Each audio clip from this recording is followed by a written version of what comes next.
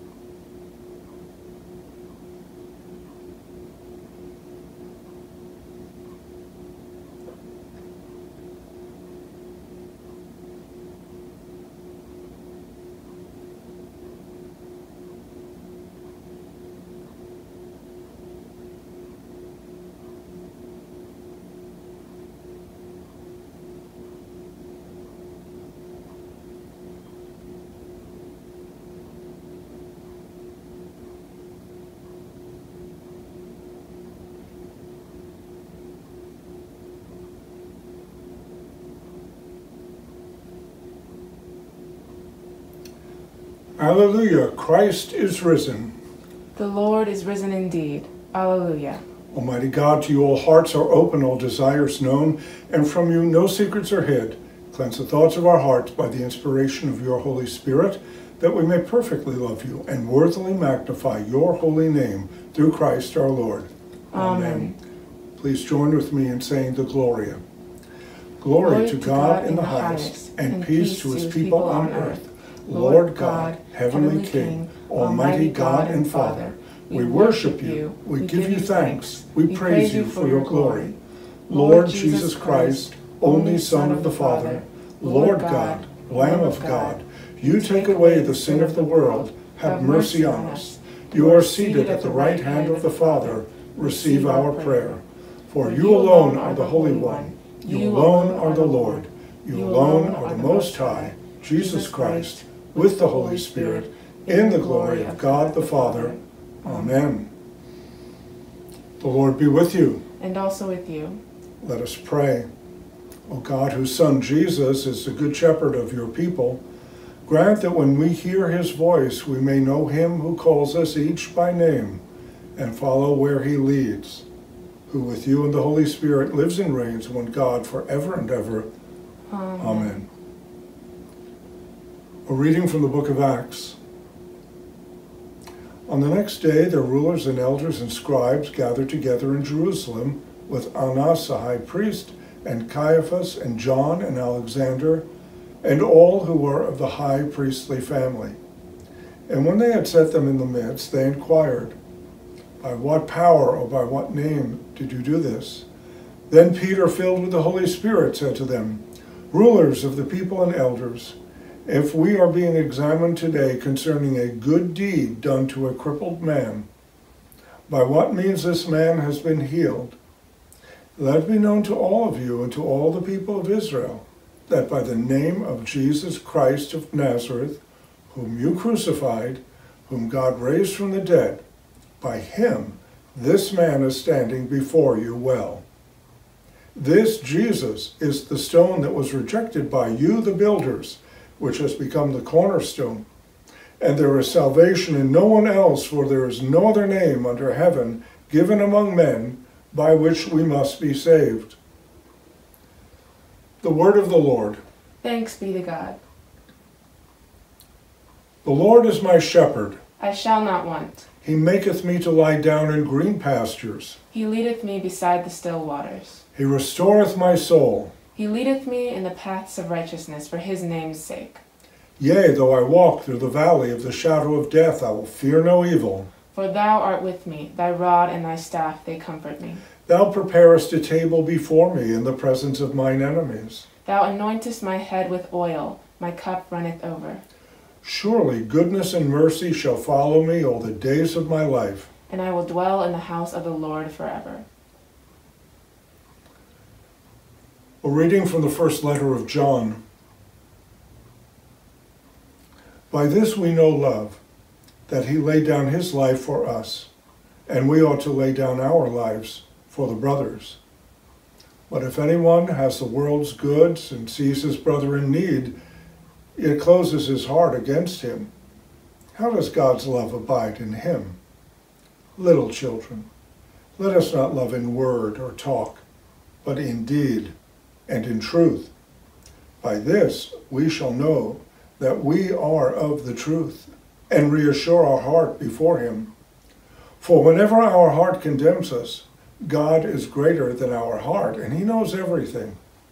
Beloved, if our heart does not condemn us, we have confidence before God, and whatever we ask, we receive from Him, because He keep because we keep His commandments and do what pleases Him.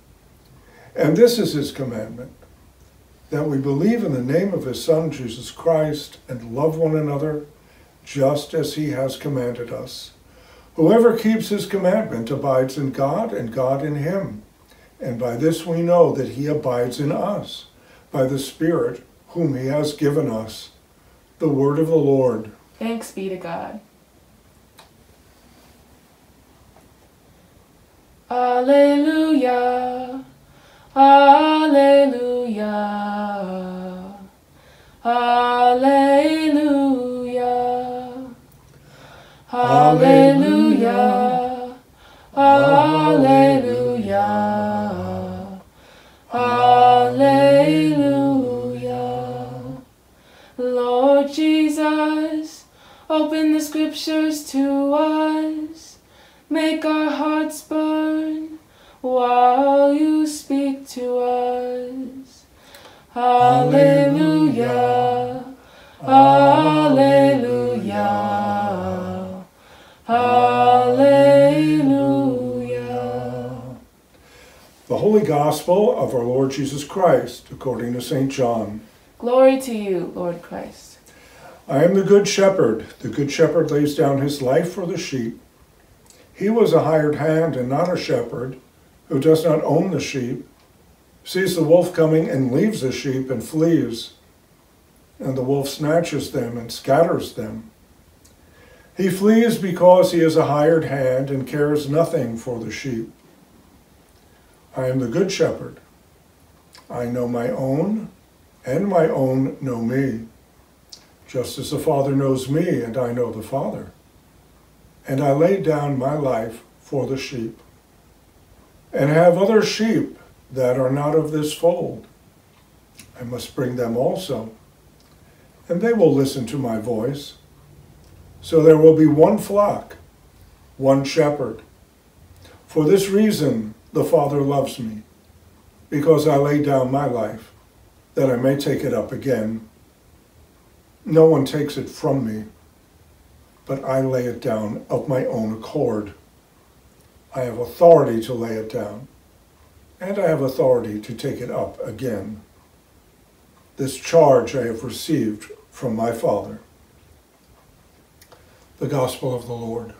Praise to you, Lord Christ. Hallelujah. Hallelujah. Hallelujah. Please pray with me. Come, Holy Spirit, fill the hearts of your faithful, kindle in us a fire of your love, and by that divine light illuminate your holy word to us this day. In Jesus' name we pray. Amen. Well, today we're talking about the first letter of John. I've done it a couple of times already. This is part three. We'll continue throughout Eastertide. It's a um, it's a letter well worth looking at. You know, some of you probably don't know First Letter of John, you know, Romans, you know, Corinthians, you know, the book of Acts, the Gospels. But I guarantee you, if you do a little homework and look into the first letter of John, you'll find out it's a very important epistle. So in the first part, the first week we entered into this, we're talking about walking in the light. Are you? What's that about? And last week I had light, law, and love. We're focusing on the law part of that and law and lawlessness and what was that. And this week I would call the sermon All You Need Is Love with hat tip to the Beatles, but a little bit extra in there. And truth and action and covenant and yeah, I'm afraid to tell John and Paul and company love is not enough. Well, depending on what you mean by love. What is love? What is love? You know, that's a tough question to answer. I think a better way to frame that is what do we mean when we say love? That is more important. Because you can't really say what is love because there are so many definitions of love there are so many different cultures in the world, so many different philosophies a different approach to it. So I think it's safer, really, by way of intellectual curiosity, to just say, well, what do we mean by love? That's what we need to do. Aristotle. I'm going to mention Aristotle and Plato only because they've been so influential in the culture that we live in, the civilization. So, you know, I think if, if I were in China, we'd probably be talking about Confucius and the idea of Tao as yin and yang, but it's basically the world we're part of has been influenced by these two men as much as anyone. Love and friendship in Aristotle are best understood not as entailing obligations or based on kinship. That interesting? I mean, I'm very enamored of Confucianism and, and, and Asian life and their views on family and that. And so it's interesting to have Aristotle say kinship out the door. Uh, uh, that's what he said, you know.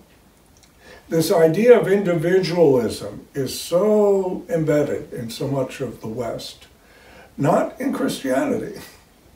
Push against it. It's a it's a balancing act between the individual and community, but community is always part of our thinking.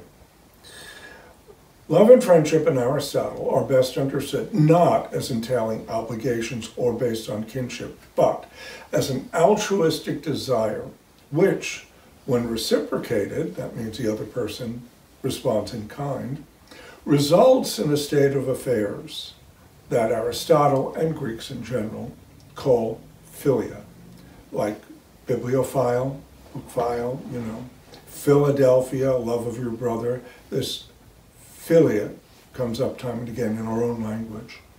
So his idea of love is, is that which comes out of an altruistic desire that's reciprocated, and that makes for love.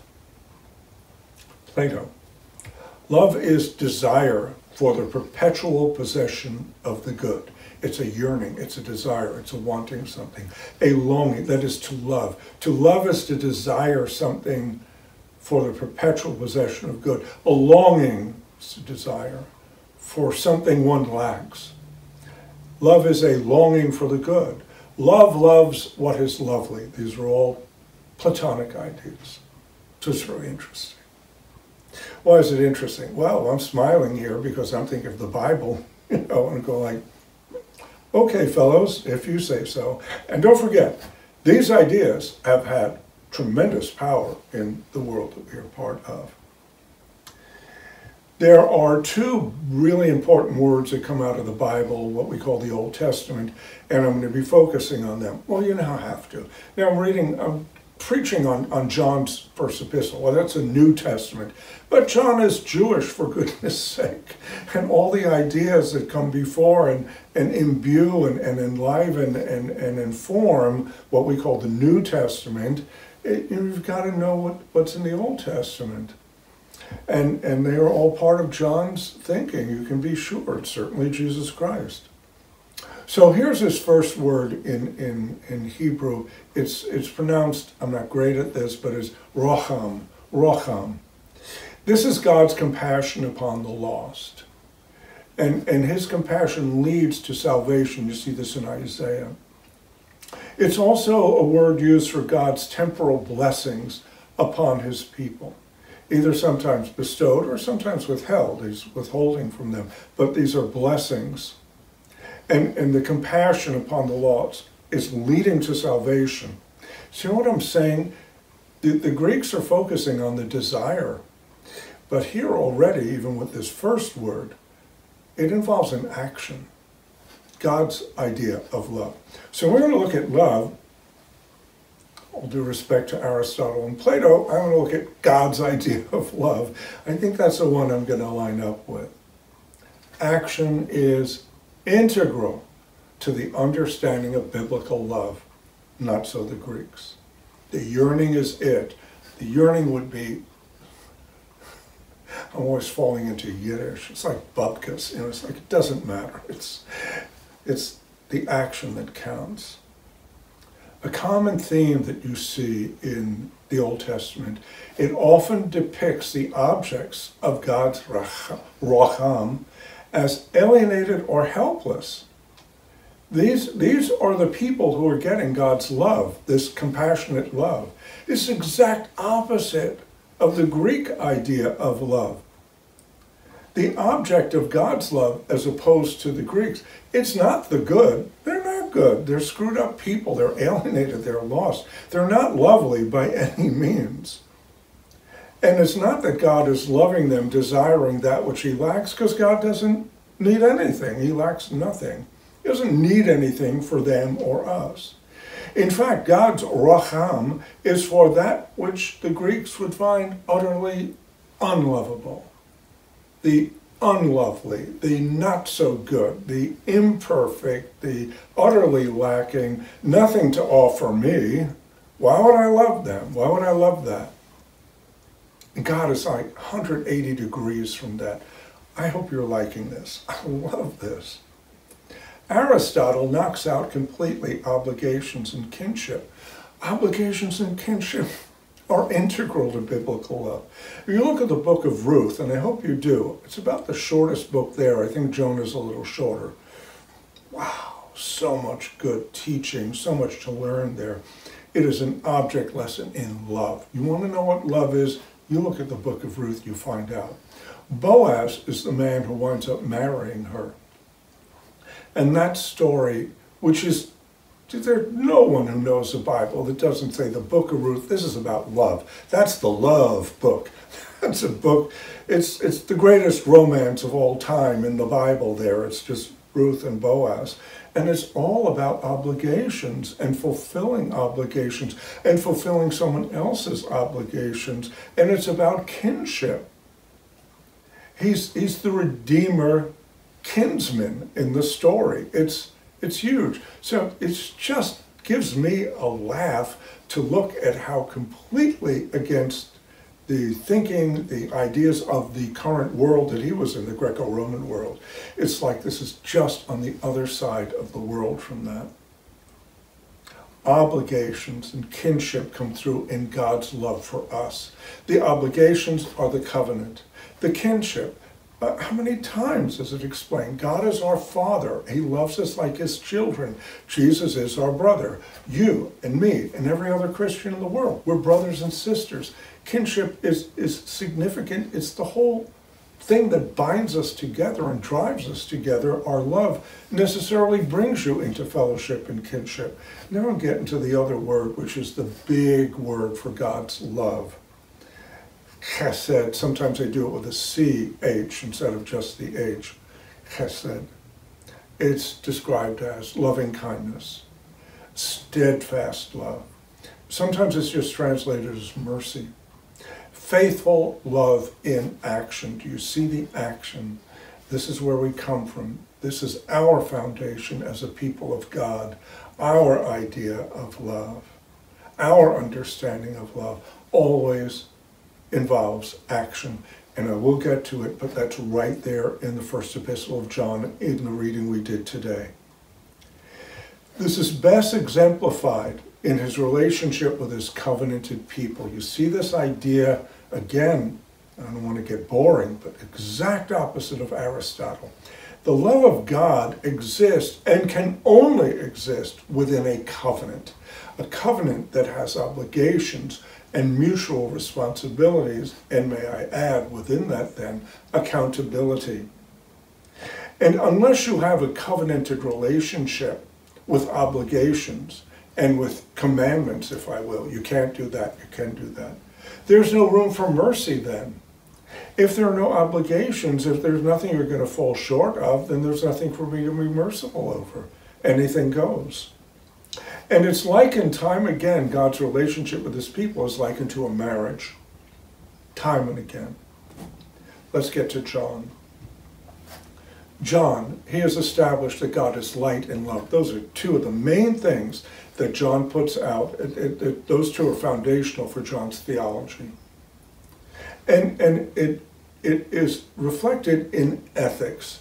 John brings up ethics. Ethics are the praxis. That's the, the practice of what you believe.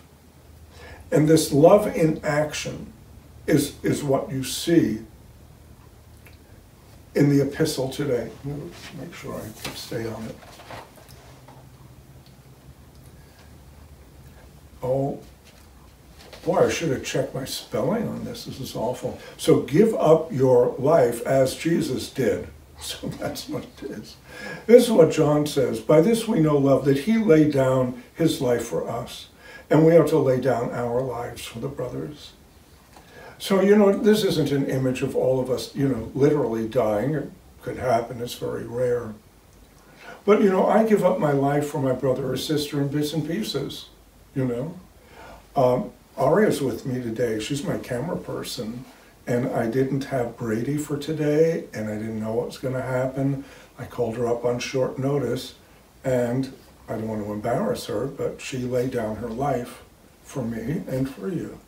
She gave up a part of her life. She laid it down and said, You take it.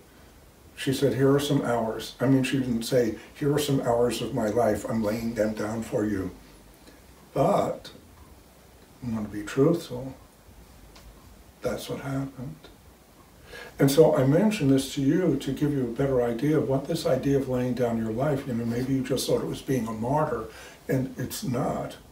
It's, frankly, and I don't want to embarrass her, but that's what Aria did today. She done her life for us.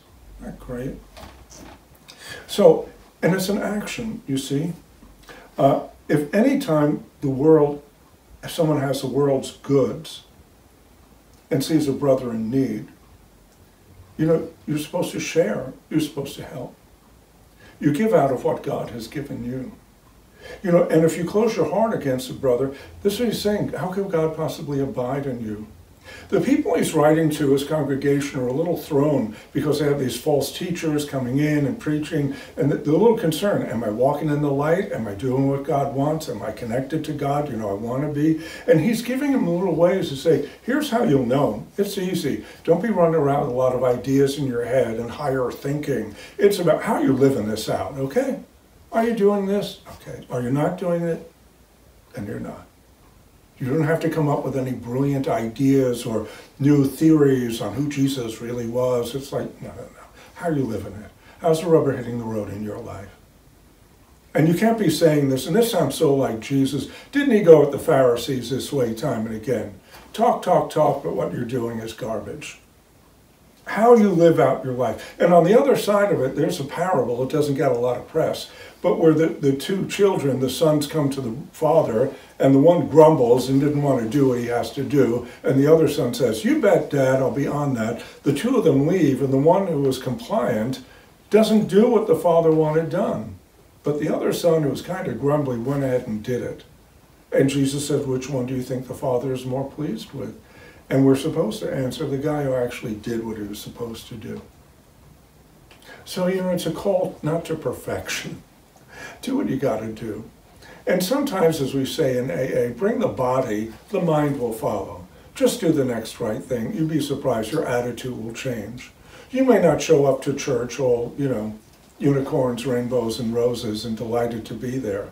But you watch what happens when you're obedient to God and you show up in life where you should, your heart will be changed as well. So you know you can't you, you can't be looking at those who are in need when you have plenty and not share it. You're supposed to be moved and move to action. He says, let's not just love in word or talk, but in deed. and in truth. Not just words, but actions, you know. And you know, this is in, in common culture, but I think the Christian culture has gotten into a lot of culture over the last 2,000 years. And you see vestiges of it here and there. But here's a famous song by Eliza Doolittle in My Fair Lady Show me. She's telling the guy, Freddie, you know, don't just talk of love, show me. And that's what John is saying, and she's saying it about 1900 years later, same deal. Obeying God and pleasing God. John says we keep his commandments and do what pleases him. I don't know if you get that connection sometimes. When you look at the commandments, you don't realize this is how you can please God. You know, certain people are hard to buy birthday gifts for, Christmas gifts. Now, what am I going to get the guy? What are you going to get God? Are you kidding me? You have trouble buying gifts for your father or your husband or your wife. It's like, what am I going to get? It's like, imagine God, like, so what are you getting him? It's like, I don't know. It's like, well, do the commandments and you please him, you know, it pleases the Father. I mean, people forget, they don't realize God has feelings with and for us. And doing the commandments please him and please your Father. How do you please him? Believe in his Son. You know, even, you know, on our homely level, you know, it's like a father with children. You know, he wants his daughter, he wants his son to be acknowledged for who they are. And they, they want to hear that because there's a sense of it being right. And this is part of where love is, is not just love, it's in a context of covenant, it's in a context of righteousness. It's only right that we love God and obey His commandments. That's righteousness. You wonder where's justice? Where's the justice in it? It's unjust not to love God. It's unjust not to love your neighbor as, your, as Jesus loved us. That's not righteous. It's not just. So love also has this aspect, it has truth in it. You cannot have love without truth. You cannot be living in a lie. Since, you know, love in and of itself, which is the way Aristotle and Plato go at it, they don't, they don't honor or acknowledge, perhaps they don't think it matters, but, but where's truth? You know, there are certain things that need a certain environment to survive and to thrive. And love needs truth. Love needs light and transparency, doesn't it? Love needs authenticity in order to exist. And all these qualities needs righteousness. And it certainly needs truth above and beyond. You need to make sure that's available in your life so that love can happen and thrive. Augustine talks about this. He talks about needing to uh, practice the four virtues. You can look it up if you want. Uh, and, and, and the virtues make room for love. If you're in AA and you work the steps, this is part of that whole cleanup act. Four, five, six, seven, eight, nine. Clearing away the wreckage of the past, confessing your sins, relieving yourself of resentment. You have to create an environment, an internal environment where love can happen and thrive. And if it's not, then it's not the right environment. Does this make sense? I hope it does. So we believe in Jesus, we love one another, just as he commanded us to love one another as he loved us. Now, whoever keeps these commandments abides in God. He's answering their questions in case they're concerned. Am I really walking with the Lord? Am I in the light? Am I abiding with God? He said, Yes. Whoever keeps his commandments abides in God and God in him. Two big commandments, right? Come on, tell me you remember them. Love the Lord your God with all your heart and all your mind and all your soul, all your strength and you love your neighbor as yourself. And then he upped the ante on that. And he said, You love as I loved you. And there you go, you're good to go. That covers everything, but you have to apply it to everything. And it's a great way to question yourself. Any moment in your day, any day in the week, just stop for a second. Just ask yourself, am I obeying God? Am I fulfilling the command? It'll tell me that, that what I'm doing right now, anyone would see you know, that, that I love God with all my heart, with all my soul, all my strength. My life is a witness to that, or not. But that's for you to look at. It gives you a way to look at, it, and that's what John's providing.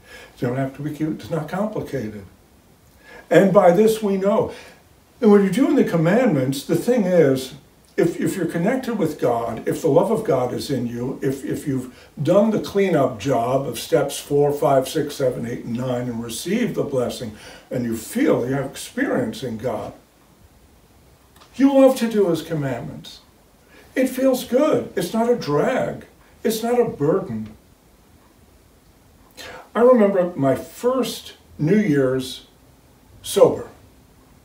And when I say that, I mean in many, many years I had been sober as a six year old, okay, but I'm talking about in adult life. And I got up that morning, it was January 1st, 1978, and I got up a good time, and I thought, oh, I know there's a 71st Street workshop nearby. I will go to a morning meeting. I think they had a 10 o'clock meeting. I went there. This is this is New Year's Day morning, okay, 10 a.m. It was packed. It was standing room only with all these super happy, smiling faces there of all these alcoholics who were there, shiny faced and ready to go for the day. The morning after New Year's Eve, everyone was just so happy and bursting with happiness and smiles happy to be living out the commandments of God in our lives. Not the least bit upset, like, we couldn't drink last night. Quite the opposite. They loved it. They loved obeying God's command for their life and my life, which is, you're not drinking. That's off your list. And thrilled to be obeying the Father when you're connected with God, you know, you love doing His commands. Because what happens is you realize the benefits of living according to His will instead of your own. Wow. Love it. And, and that's how this connection of the love and following commandments and pleasing God all fit together. It makes a lot of sense. Having faith in Jesus, loving one another, keeping God's commandments, these are the signs that we abide in him and he in us. And he's telling his flock, the little children, you get this down. Don't worry about anything else you're hearing from anybody else, okay? You're fine. You're good. So what do I leave you with? You know, you want that connection. You want the God connection. You want the love connection. John laid it out. You know, either you're doing these things or you're not. It's a question of doing and, and, and, and believing. And I would add to it, it's a question of experiencing. It starts by having faith. You've got to have faith and you've got to let God into your life in a real way and see if He'll do what people like me and the Bible and other people promise you He will. You have to surrender to God and allow Him to start working in it, that He may help you build your faith and your trust. And the more you have faith, and the more you trust, and the more you see that God is indeed working in your life, the more you allow His love to enter into your heart and start transforming you. And part of that process involves community, not doing it on your own. Coming into relationship with other people who are already there, who can say, been there, done that, who have what you want, they have God in their life. They're living a miracle every single day. And their cup overfloweth, like Psalm 23. Common expression in AA is a glass half full or is it half empty? And I just knocked that whole thing off the table. My glass isn't half full. My glass isn't half empty. I'm a Christian, okay? My cup runneth over. That's the cup God gave me. And it runneth over so that I can share with other people. I don't want that spilling on the floor, you know. You know, bring your cup to me. I'll share with you so that the love that God and the grace and the blessings he has for me are more than I can handle. Maybe you can handle the rest of them, okay? And the Father and the Son and the Holy Spirit. Amen.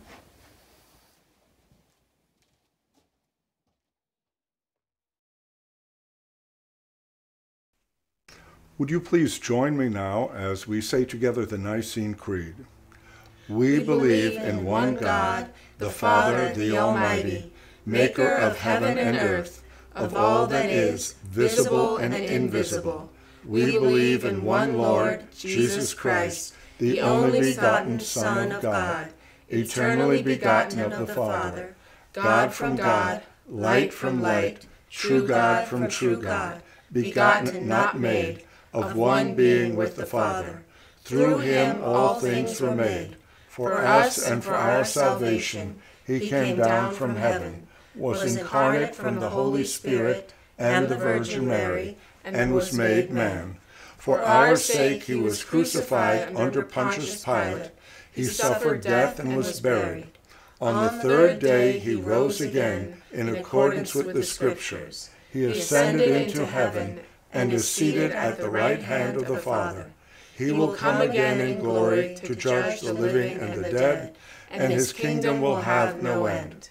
We believe in the Holy Spirit, the Lord, the giver of life, who proceeds from the Father, who with the Father and the Son is worshipped and glorified, who has spoken through the prophets. We believe in one holy, Catholic, and Apostolic Church. We acknowledge one baptism for the forgiveness of sins. We look for the resurrection of the dead and the life of the world to come.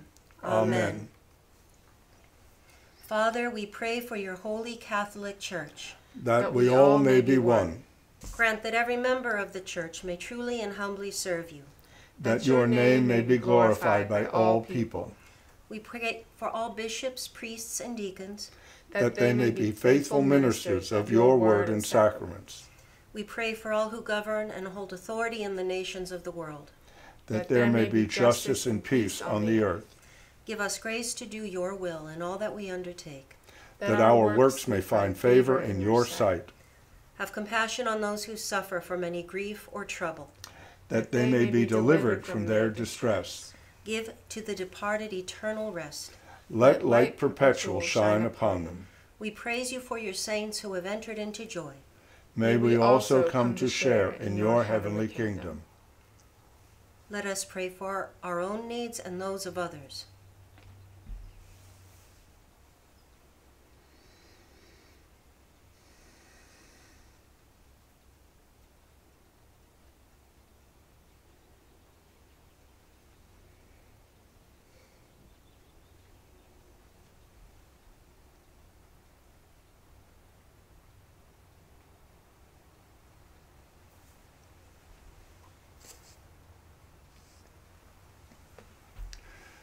Let us confess our sins against God and our neighbor. Please join me. Most merciful God, we confess that we have sinned against you in thought, word, and deed, by what we have done and by what we have left undone. We have not loved you with our whole heart. We have not loved our neighbors as ourselves. We are truly sorry and we humbly repent. For the sake of your Son, Jesus Christ, have mercy on us and forgive us, that we may delight in your will and walk in your ways, to the glory of your name. Amen.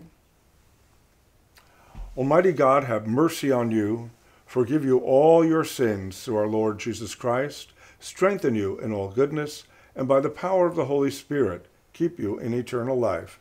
Amen. The peace of the Lord be always with you and also with you. I encourage you to greet one another in the name of the Lord.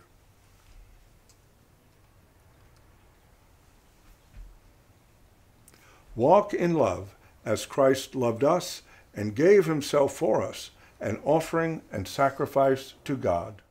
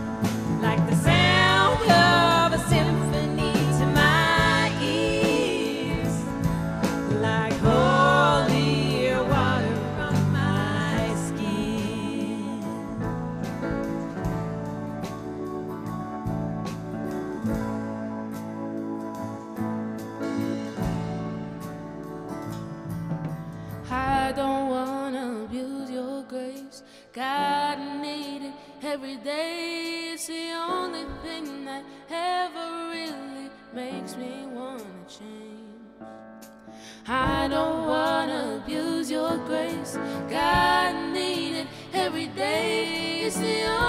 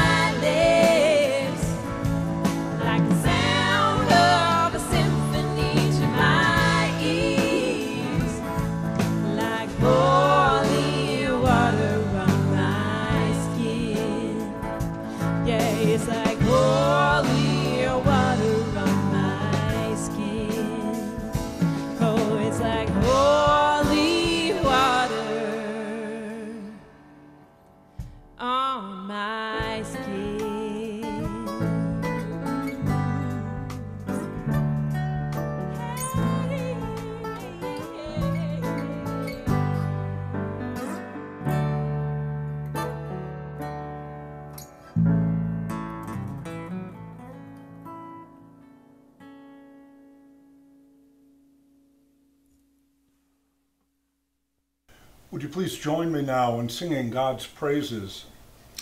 Praise God from whom all blessings flow. Praise Him, all creatures here below.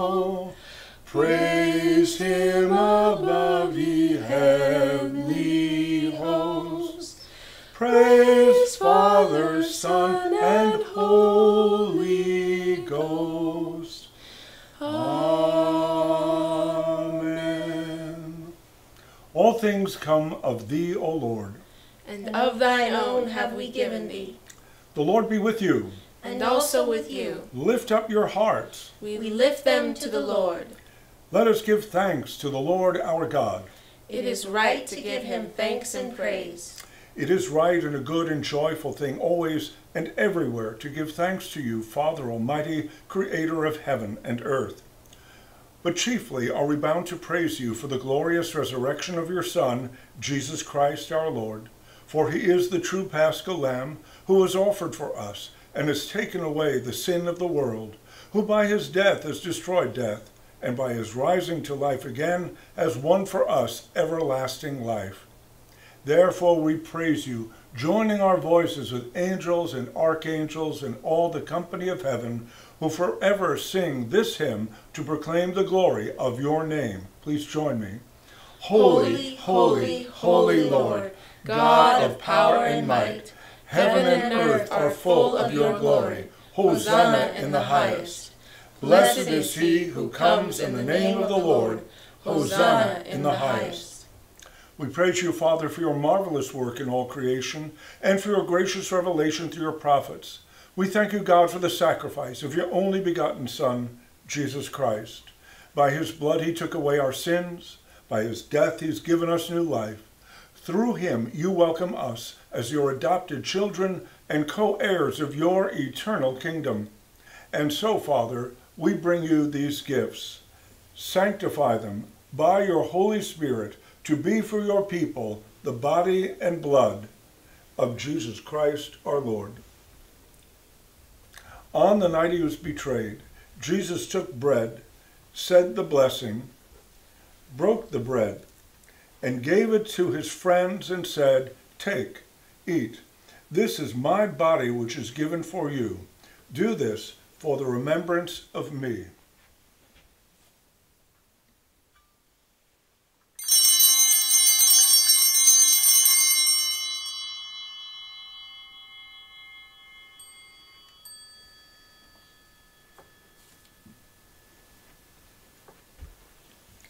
After supper, he took the cup of wine, gave thanks, and said, Drink this, all of you. This is my blood of the new covenant, which is shed for you and for many for the forgiveness of sins.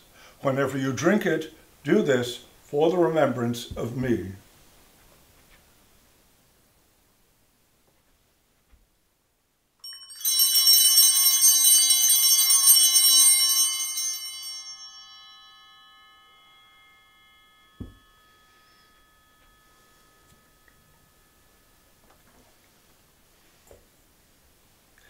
Therefore, we proclaim the mystery of faith. Please join me.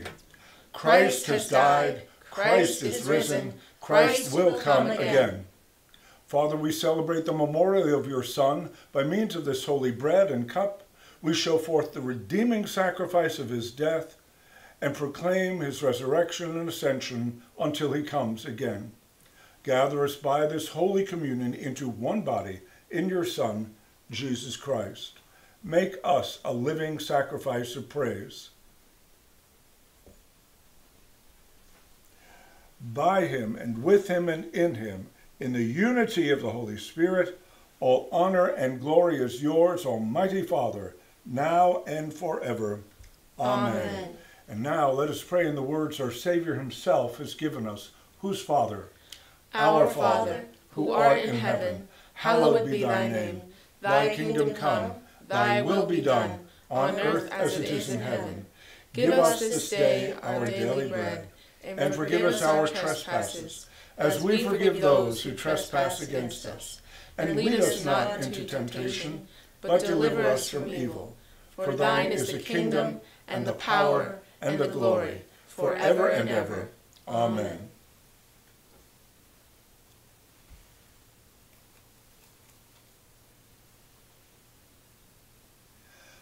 Alleluia! Christ, our Passover, is sacrificed for us. Therefore let us keep the feast. Alleluia. O Lamb of God, that takest away the sin of the world, Have mercy upon us. O Lamb of God, that takest away the sin of the world, Have mercy upon us. O Lamb of God, that takest away the sin of the world, Grant us thy peace. the gifts of God for the people of God, take them in remembrance that Christ died for you, and feed on him in your hearts by faith with thanksgiving. Lord, I am not worthy to receive you, but only say the word, and my soul shall be healed. the body of Christ, the bread of heaven, the blood of Christ, the cup of salvation.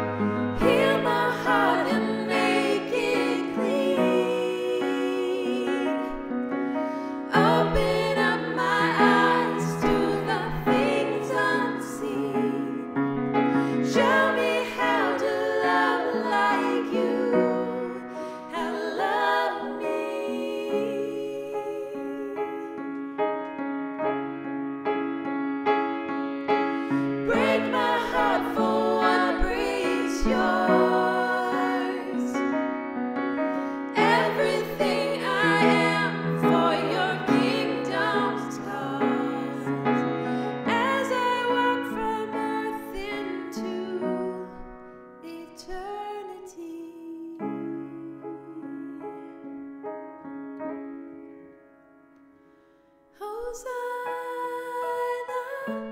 Hosanna.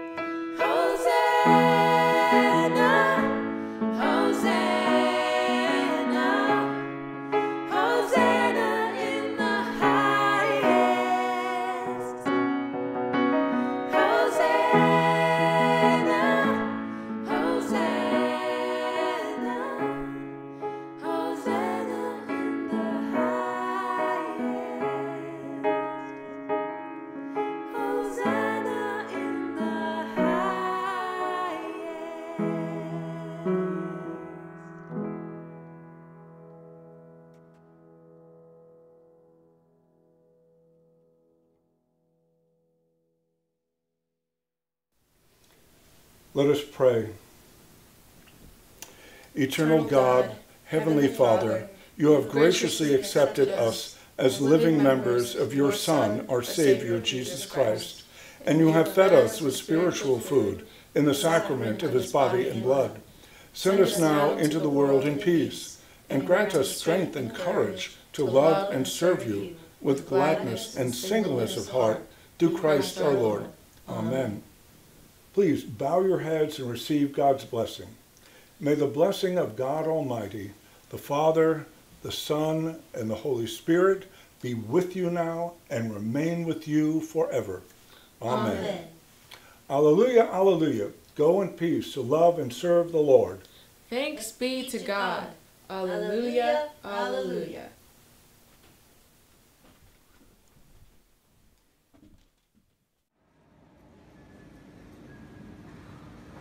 Glory!